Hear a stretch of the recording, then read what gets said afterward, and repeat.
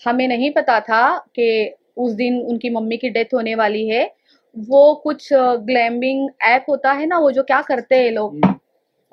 हाँ ग्लैम्बलिंग कुछ ऐप होती है वो उसका शूट यहाँ पे खड़े होके चल रहा था ठीक इस टीवी के पास चल रहा था। ये सब कुछ होने के बाद हम सीधा हॉस्पिटल गए हॉस्पिटल जाने के बाद हमें पता चलता है आ, उनकी मम्मी की डेथ हो गई। हमारे सामने ही बोली गई थी वो बात। ऐसे नहीं था कि डेथ पहले हुई थी, अभी वो हॉस्पिटल वालों को पता क्या है बट लेकिन डिक्लेयर हमारे सामने की गई है कि भाई अभी अभी डेथ हो गई है, और वो साड़ी, वो सब कुछ फुटेज उसी दिन का था। वापस उसी साड़ी में घर पे आए हुए हैं। वो साड़ी आज तक मुझे रिटर्न नहीं दी है, ना दोबारा पहनी है। तो आप आप, आपको एक माँ का दर्जा दिया था राखी ने और कहा था कि यू नो मेरी माँ के बाद मैं इससे ही माँ समझती और अगर उनके पर्सनल लाइफ में कुछ भी होगा तो उसका फैसला लेने का हक भी सिर्फ़ राक्षी को है और वही मुझे सजेशन देगी। तो मैं डेफिनेटली जानना चाहूँगी कि आदमी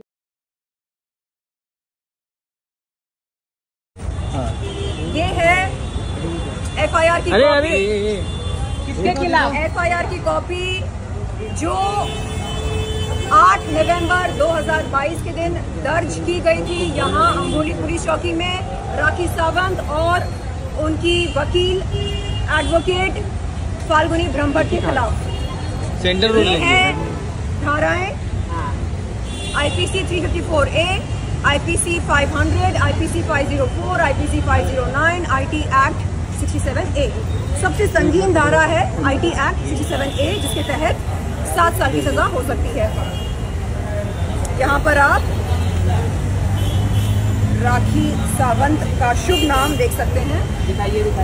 या लेफ़्ट में भी लेफ़्ट में भी। रुको रुको होल्ड होल्ड होल्ड रुको यहाँ पर सर सेंटर रुको ना।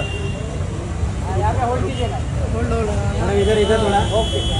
चलो। चलो फट फट फट फट फट फट फट। तो आज मैं यहाँ पर आई हूँ ये पूछने के लिए कि इस एफआईआर के तहत क्या चार्जशीट फ़ाइल हुई या नहीं? और अगर नहीं हुई तो कब होगी?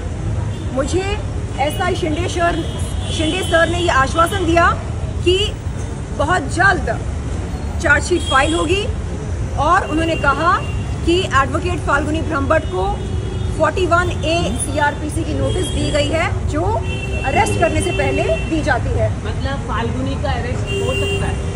आज की तारीख में फाल्गुनी ब्रह्मभट्ट के पास बेल नहीं है। तो पर उन्हें गिरफ़्तार किया जा सकता है। लेकिन आप आ, आ, आपने मेंशन किया है राखी सावंत को। राखी सावंत को तो आपने माफ़ कर दिया था उस समय। आप लोग फ्रेंड हो गए थे ना उस समय। आपने मैंने मैंने कभी भी जुबानी तौर से या लिखित रूप में कभी भी ये नहीं कहा कि मैं इस एफआईआर को वापस लेती हूँ। बिल्कुल नहीं। हालाँकि नेल आर्ट स्टूडियो में राजश्री की मौजूदगी में राखी ने एक कागज़ पर मुझसे जबरन दस्तखत करवाना चाहा। जब मैंने उससे कहा कि मुझे पढ़ लेने दो, इस पर क्या लिखा है, उसने बोला कि उस कागज़ पर ये लिखा है कि मैं शर्लिन चोपड़ा अपने दर्ज कराए हुए एफआईआर को वापस लेती हूँ। मैंने कहा, बिल्कुल नहीं। ऐसा निर्णय मैं बगैर अपने वकील से सलाह मशवरा लिए नहीं लूँगी तो ये केस तो तब से उसके मेरे बीच में दरार पैदा हुई। वो चाहती थी कि इस एफआईआर को मैं वापस लूँ। क्यों लूँ भाई? जो लड़की आए दिन मीडिया के सामने कहती है कि मैं तो। जरूरतमंद और पीड़ित महिलाओं के लिए आवाज़ बनना चाहती हूँ उनके लिए कुछ करना चाहती हूँ। पहले वो अपने लिए कुछ कर ले। करे, करे। हाँ? जो लड़की अपने लिए कुछ नहीं कर सकती वो क्या ही समाज सेवा करेगी? कल कल आप कल प्रेस कॉन्फ्रेंस में भी राखी ने आपको कहा है कि जो मेरी बहन है काफ़ी उसको भड़काया जा रहा है क्या कहना हो? कौन किसकी बहन है भाई? राखी और बहन है मेरी? हैं? ओ राखी वो बहन है जो अपनी बहन को बाजारू कहती है वैश्या कहती है जो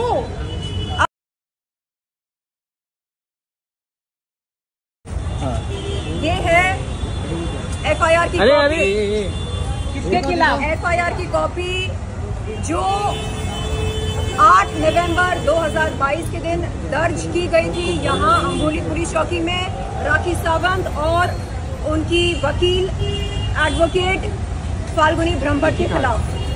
सेंटर है। धाराएँ IPC 354 A IPC 500 IPC 504 IPC 509 IT act 67 A सबसे संगीन धारा है आईटी एक्ट 67 ए जिसके तहत सात साल की सजा हो सकती है। यहाँ पर आप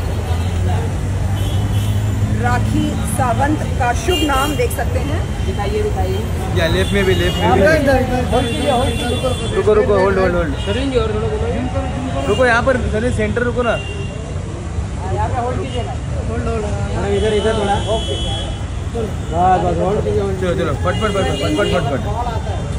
आपने तो तो आज मैं यहाँ पर आई हूँ ये पूछने के लिए कि इस एफआईआर के तहत क्या चार्जशीट फ़ाइल हुई या नहीं?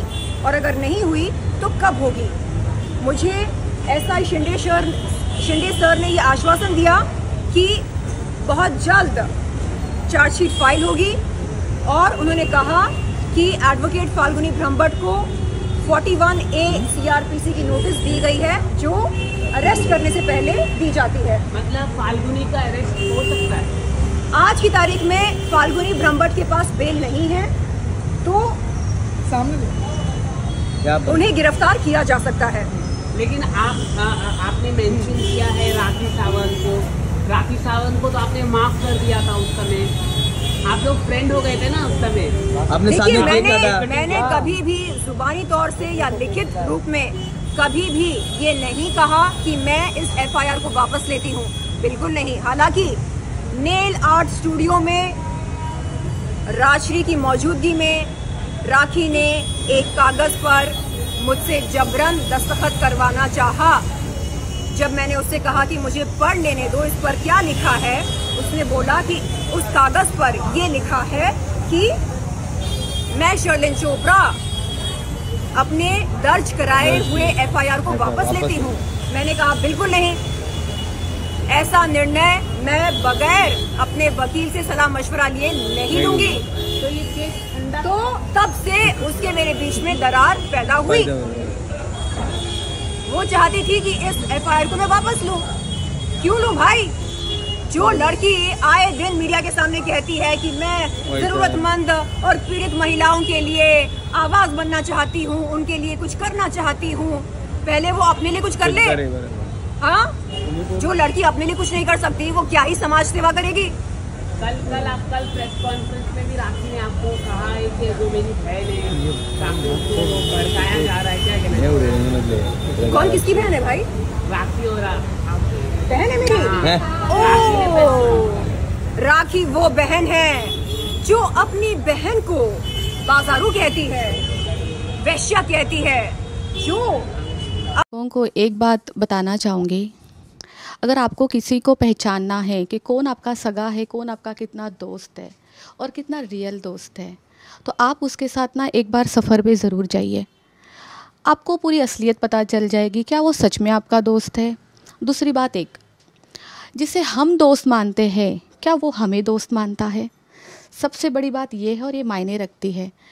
मुझे शायद इस सफ़र में या राखी के साथ मैं इस बार दुबई गई, उसके ऊपर ट्रस्ट करके गई हूँ, शायद मुझे ये सफ़र पहले ही कर लेना चाहिए था। आज तक मैं इतनी यूज़ ना होती। जिस तरीके से राखी ने मेरे साथ किया है, मैं उसके ऊपर ट्रस्ट करके दुबई गई। उनका क्लब का बज़ क्लब उनका ओपनिंग था। मैं काफ़ी खुश थी, काफ़ी खुश थी कि राखी ने वहाँ पे बिज़नेस चालू किया है और एक दोस्त नहीं खुश होगा तो कौन होगा? बट एक दोस्त के साथ वहाँ पे इस तरीके से किया जाएगा, मैं नहीं जानती थी। मुझे लगता है राखी वहाँ पे बज़ क्लब के ओपनिंग के लिए नहीं, जलील करने के लिए लेके गई थी। जिस तरीके से उसने मुझे वहाँ पे जलील किया है फ्रंट ऑफ़ मेनी पीपल्स मैं क्या मेरे पास शायद शब्द नहीं है। मैं उस दिन, उस रात इतनी रोई हूँ, इतनी रोई हूँ कि ये लड़की मेरे साथ कैसे कर सकती है? और उसने किया क्यों? आपको पता है क्यों किया? उसकी चीज़ों में अगर मैं शामिल होती तो शायद ये सब कुछ नहीं करती। उसका कहना शुरू से हमेशा से यही रहा है। हालाँकि आदिल के टाइम से उसने ये सारी चीज़ें की है। उसका कहना ये था कि जो वो बोलती है, जैसा वो चाहती है, वैसा वो मैं करूँ। बट वो पॉसिबल नहीं है, क्योंकि मैं उसकी दोस्त हूँ। मैं कोई उसकी कठपुतली नहीं हूँ कि वो जैसा चाहे मुझे नचाना चाहेगी। और यही सेम किस्सा अब दुबई में हुआ।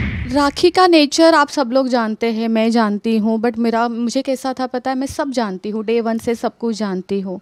मुझे ऐसा था कि राखी जैसे दूसरों के साथ होती है, जैसे दूसरों के साथ वो व्यवहार करती है रिएक्ट करती है, लोगों को यूज़ करती है, और न जाने क्या क्या करती है। मैं अब इस टाइम नहीं बताना चाहूँगी। वो सेम मेरे साथ करेगी। मुझे कभी कभी ऐसे नहीं लगा था। मुझे ऐसा था कि दुनिया के साथ वो क्या करती है, मुझे कोई लेना देना नहीं। लेकिन वो